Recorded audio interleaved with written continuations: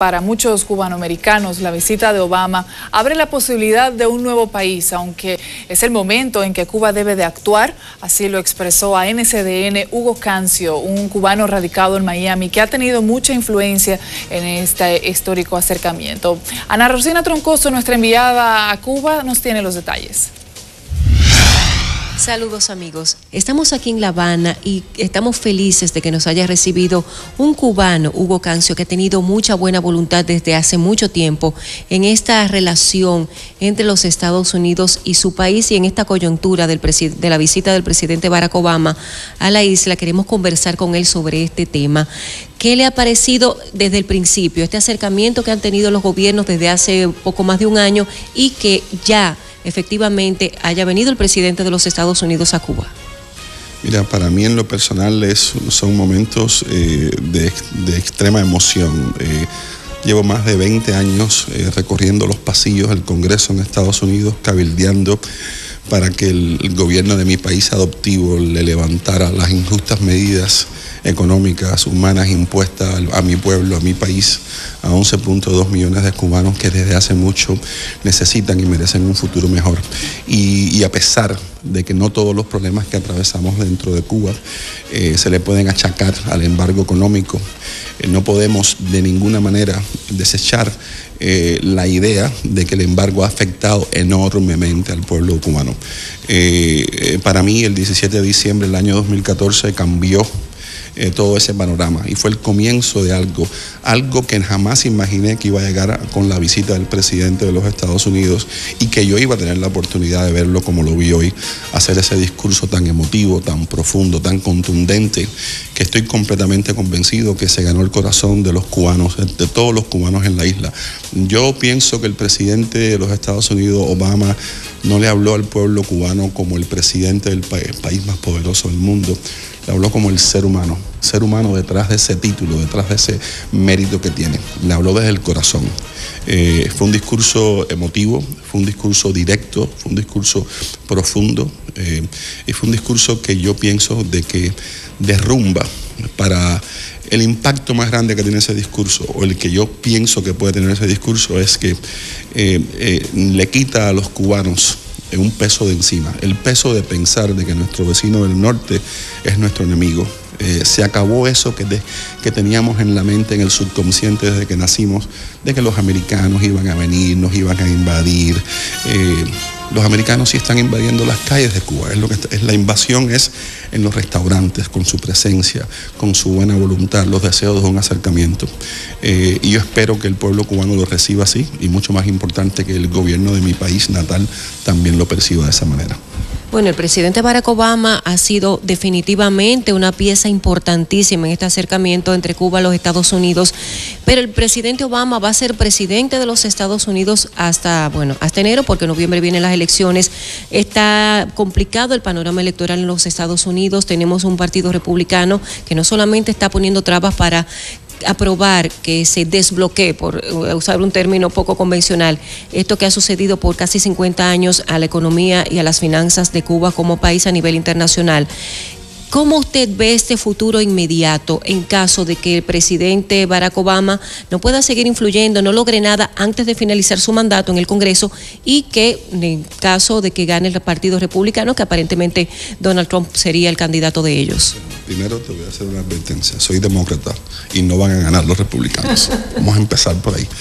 No, mira, eh, yo creo que el presidente Obama tiene como tarea, eh, se lo ha autoimpuesto, eh, de, de, cualquier modo, dentro de los términos de la ley, de los poderes ejecutivos que le corresponde, eh, dejar el embargo prácticamente en nombre solamente. Eh, puede hacer mucho más y seguirá haciendo mucho más. Será parte de su legado. El presidente Obama se gana un espacio en la historia de los, en una página en la, historia de Cuba a partir de este momento. el proceso es irreversible.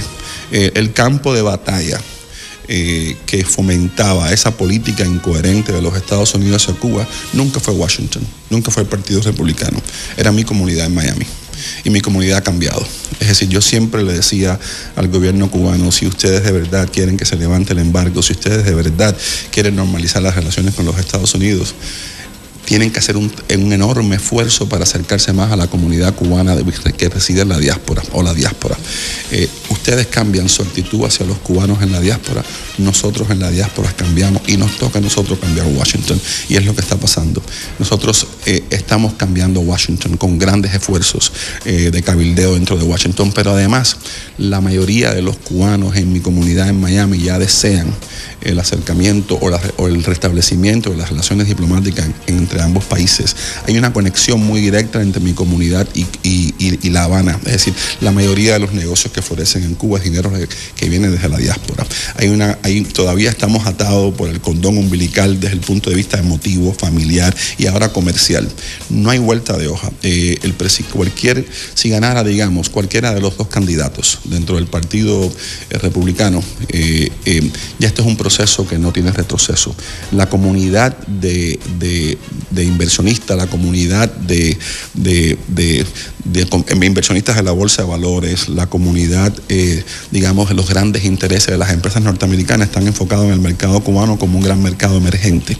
Ese interés económico, el que motiva prácticamente a la sociedad norteamericana, el bolsillo, ya está enfocado en Cuba. So, es una combinación perfecta. Eh, mi comunidad cambió la gran mayoría de los cubanos en la Florida desean esto que estamos viendo. Y aparte de todo, el pueblo norteamericano que está conociendo Cuba desea esto que estamos viendo, esto que estamos viviendo, palpando como lo que vimos hoy. Y la comunidad de, inversionistas en Estados Unidos y las grandes empresas están enfocadas en Cuba. Dudo mucho que alguien se atreva a darle vuelta, a darle marcha atrás dentro del Partido Republicano. De hecho, el escenario perfecto para que se levante el embargo es con la mayoría siendo republicanos, porque ellos son más pro negocio, pro business que los demócratas. Entonces, no creo que, vaya a pasar absolutamente nada. De hecho, el candidato más cercano a la nominación dentro de los partidos republicanos es Donald Trump. Y Donald Trump ha tenido scouts desde sus, empresas buscando oportunidades de negocio en Cuba. Bueno, ha dicho que pondría un hotel de inmediato en la medida que se pueda. y ha dicho que él apoya las medidas del presidente Obama, que claro, él hubiera hecho un mejor negocio él hubiera, negociado eso mucho mejor. Pero que él lo apoya. Entonces no, no, no creo que vaya a pasar absolutamente nada. Pero va a ganar Hillary, va a ganar Hillary. Hugo, y en la parte de Cuba, ¿cuál es el papel que puede hacer Cuba para que las cosas se o sea, ocurra todo más rápido porque según hemos visto nosotros desde la República Dominicana, desde ese 17 de diciembre histórico definitivamente, las cosas han sucedido bastante rápido.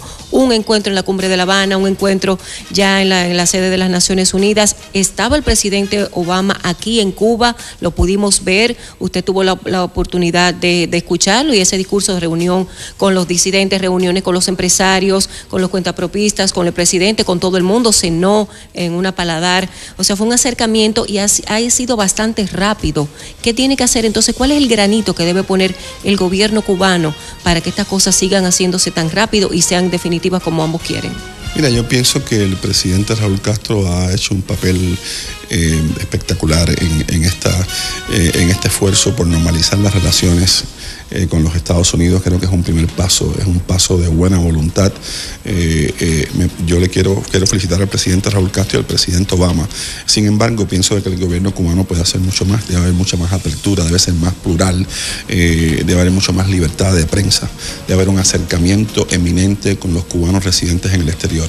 El país no puede avanzar sin la reconciliación de todos los cubanos hemos, sido un país donde hasta, hasta este momento hemos estado divididos, divididos por una ideología. Yo estoy por encima de las ideologías.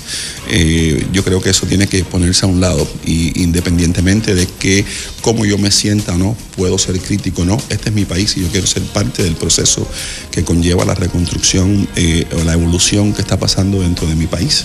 Eh, y yo pienso que esa oportunidad se debe dar a todos los cubanos, independientemente de cómo piensen políticamente o de su posición geográfica. Eso es importante. Lo hizo, se hizo en Vietnam, se hizo en China, se hizo en Alemania, en las dos Alemanias, y se hizo durante el proceso de la parastroika y las aperturas en la, antigua Unión Soviética de Rusia. Entonces, yo creo que eso es un, eso es un primer paso eminente. Eh, antes de abrirse, por supuesto, a los grandes intereses norteamericanos, la Cuba que yo desearía ver no es una Cuba que representa un sistema capitalista como el país donde yo vivo hoy por hoy. A mí no me gustaría ver 50 McDonald's y 30 Burger King y mil, ni mil tiendas de souvenirs por todo el malecón. Ese capitalismo desenfrenado que tengo yo en Estados Unidos no me gusta para mí, ese modelo no me gusta para mi país. Entonces, eh, ¿hacia dónde se, dirige Cuba? No lo sé.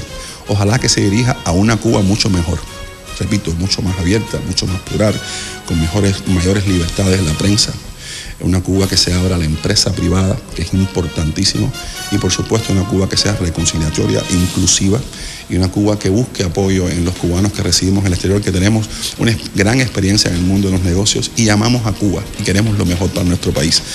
yo no tengo por qué estar aquí, yo vivo en Miami, yo estoy aquí porque, porque amo a Cuba incondicionalmente, porque quiero. Entonces eso hay que valorarlo, no de mí, ya yo estoy aquí, sino de los demás, los demás cubanos que quieren desean lo mismo. Bueno, muchísimas gracias. Yo pienso que ha sido eh, muy positiva esta conversación para todos nosotros, lo que vemos el proceso de cerca, pero no de dentro, ver la expresión suya. Eh, usted tenía tantos años deseando este acercamiento y ver cómo están sucediendo los acontecimientos. Muchísimas gracias, Hugo, por la amabilidad de recibirnos a nosotros, a NCDN aquí en Cuba. Y bueno, la República Dominicana ya lo conoce, sabe su buena voluntad. Y también esperamos, por el bien de ustedes, por el bien de todos los latinos, que somos hermanos todos, de que esto efectivamente sea un proceso definitivo para el bien de todos. Así mismo, gracias. Buenas. Muchísimas gracias, Ana Rosina, por esta interesante entrevista.